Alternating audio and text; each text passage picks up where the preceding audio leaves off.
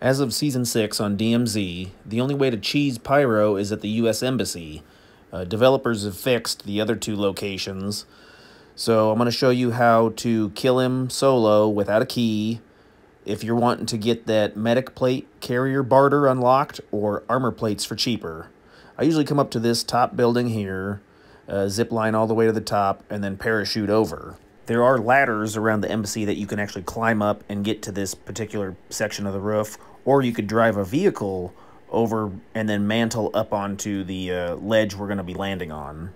I do think the Pyro is one of the easiest bosses to kill, and he drops one of the better three-plate carriers for solo players. It allows you to heal much quicker. And with only three bandages, one watch, and one liquor, it's pretty easy to craft. So there you go. You see the pyro is inside. Just drop down to this front ledge here, and you'll be able to look inside of this window. And he should spawn inside. Um, now, it doesn't necessarily need to have the weapon case to spawn here, um, but you can see he's right there with a riot shield. Um, and you can shoot that gun. So you see the laser on the uh, shotgun, and then you just shoot that and you'll be damaging him. If he repositions, you can also shoot his foot, uh, but you'll want a munitions box because you'll go through quite a bit of ammunition. Uh, just shooting his hand takes quite a while to bring him down. Something else that could be helpful would be drill charges. I didn't bring any, but you can throw those through the wall.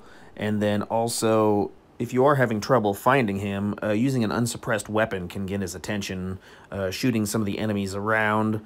Uh, I did have to run down to like the bottom floor and then uh, on one of the runs and then like shoot the door and then he kind of glitched through the door and then you could use the ladder on the south side of the building to climb up and get back on top and then shoot him through the window again. And after enough damage, you'll see the 500 experience points pop up, and that means that the boss is now dead. You get credit for the kill, even though you don't get to pick up his stuff. If you did have an embassy key, you could run in there and pick up the items he drops. Check out another video over here if you shop at Amazon, I've got links down in the description to save you money.